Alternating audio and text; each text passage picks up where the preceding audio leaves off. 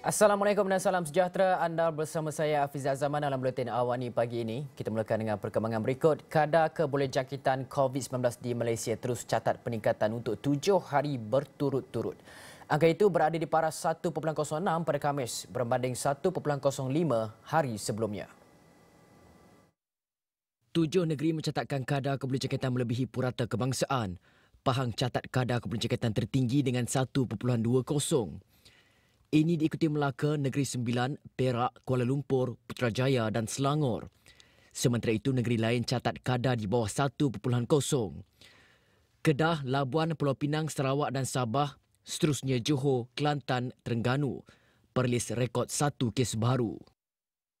Setakat ini, kadar kebolehjangkitan terendah yang pernah direkodkan tahun ini ialah 0.81 pada 3 Mac lalu. Manakala yang tertinggi dicatatkan ialah 1.21 pada 23 Mei. Nilai RT atau RO merujuk kepada tahap kebolehjangkitan sesuatu virus iaitu berapa ramai individu yang boleh dijangkiti oleh satu kes positif.